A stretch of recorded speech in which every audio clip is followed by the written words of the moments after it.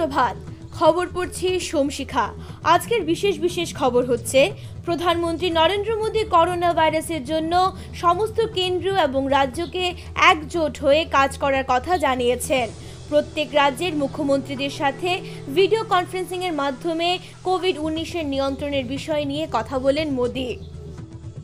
জনতা কারফিউর কারণে শনিবার মধ্যরাত থেকে রবিবার রাত দশটা পর্যন্ত দেশের রেল স্টেশনে কোনো যাত্রীবাহী ট্রেন যাতায়াত করবে না, জানালেন প্রধানমন্ত্রী Narendra Modi.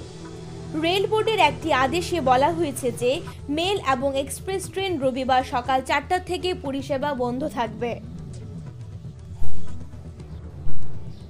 Union public service commission তেইশে মার্চ থেকে তিন এপ্রিল পর্যন্ত নির্ধারিত দু হাজার সিভিল সার্ভিস পরীক্ষা, কোভিড উনিশের সতর্কতার কারণে পরীক্ষা প্রার্থীদের ইন্টারভিউ পিছিয়ে দিয়েছে।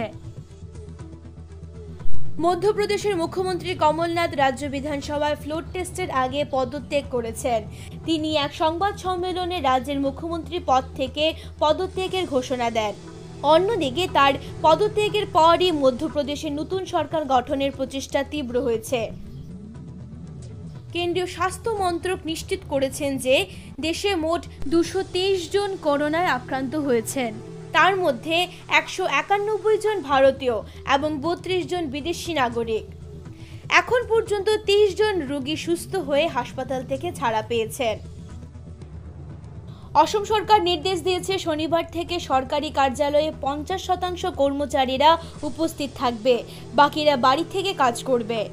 তবে স্বাস্থ্য, দমকল, বিদ্যুৎ, পুলিশ পরিষেবার সঙ্গে জড়িত বিভাগগুলি এই তালিকায় থাকবে না। অস্ট্রেলিয়া ট্যুর থেকে ফিরে আসার পর কোভিড উনিশের সতর্কতার জন্য সেলফ আইসোলেশনে চলে গেছেন নিউজিল্যান্ড ক্রিকেট দলের ক্রিকেটার এবং সাপোর্ট স্টাফরা। কিংবদন্তি ভারতীয় ফুটবলার পিকে ব্যানার্জি শুক্রবার দুপুরে শেষ নিঃশ্বাস ত্যাগ করেন। মৃত্যুকালে তার বয়স ছিল তিরাশি বছর। এবারে আঞ্চলিক খবর। জনতা কারফিউ সাড়া দিয়ে গোলদিঘি মলের সব ব্যবসায়ীরা রবিবার মল বন্ধ রাখার সিদ্ধান্ত নিয়েছেন।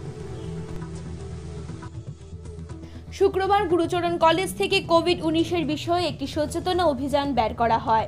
কলেজের বিভিন্ন বিভাগের অধ্যাপকরা শিলচরের কলেজ রোড বাজার এলাকা, বিবেকানন্দ রোড ও আশ্রম রোড এলাকায় গিয়ে করোনা সংক্রমণ থেকে নিজেদের মুক্ত রাখার বিষয়ে সাধারণ মানুষকে বিস্তারিত বুঝিয়ে দেন।